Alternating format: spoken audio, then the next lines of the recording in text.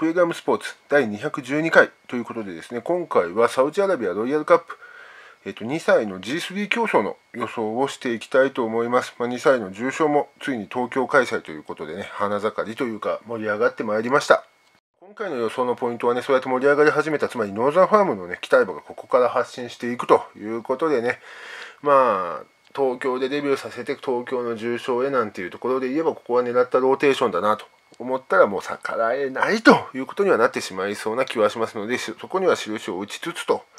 いうようなね予想でいきたいと思います。というわけで今回の特注なんですが1番人気のサリオス、まあ、東京の開幕でデビュー勝ちしましたしねそこから狙いすましてあの一息入れて東京もここは狙ったローテですね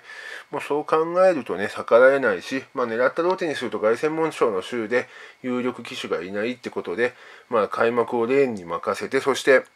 ここでは今度は、まあ、日本人騎手ですけどね。まあ、レーンが乗ってまだ乗り換わってないからルメールとかその辺乗せるのも問題ないみたいなとこまで踏まえたまあ、そういうねあの機種起用なのかなって考えるともう計算通りですね。変えていきたいと思います。2番人気アブソルティスモ、まあ、新馬ではサリオスに負けたものの逃げる形になってしまいましたからその次のレース控える競馬で圧勝しましたし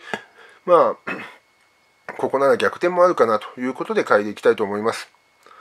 まあ、そして3番人気クラバシュドール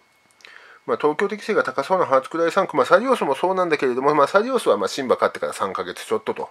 えー、と4ヶ月が経っているのに対して、まあ、この馬はね、まあ、先月新馬勝ちしたばかりと、まあ、つまりデビュー体制が整ってから。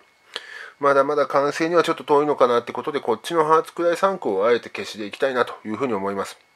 まあ、そして4番人気ロードエクスプレス、まあ、この馬がね、まあ、新潟ですけどね左回りの島線を圧勝と。いうあたり、まあ、距離もね2歳のマイル戦なら通用するだろうということでね距離延長も含めて狙ってみたいと思っておりますそして5番人気エンジェルサークルまあ、新馬戦をね、度外視すれば2戦目圧勝で勝ち上がってますしね、新馬戦は騎乗ミスがあったようなこともね、あの出てくるんでね、まあじゃあ、5番人気で勝ってくれたら美味しいかなという形でいきたいと思います。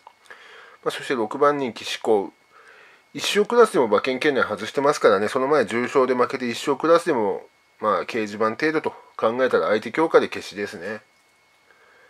まあ、そして7番人気、色ごとし。小倉の戦にしか経験ないですしね、今年の九州サンバレベル低くてそこで時計1つ負けてた馬ですから、まあ、ここでの距離延長、適正がどうかはともかくとして、まあ、経験不足というのも含めて狙いづらいというふうに思います。8番人気カップッチョ、この馬もね、あの重賞で負けて1勝クラスでも馬券圏内外して思考よりあの先着を許してなんて形ですから、ここは決していいと思います。